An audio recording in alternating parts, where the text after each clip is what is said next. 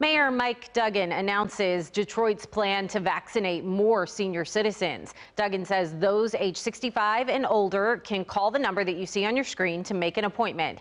Senior appointments are available starting every Saturday between February 13th and March 6th. The TCF Center, along with Fellowship Chapel and Second Ebenezer Baptist Church, are those designated vaccine locations. Duggan also says the city is offering rides to the TCF Center for seniors to get vaccinated.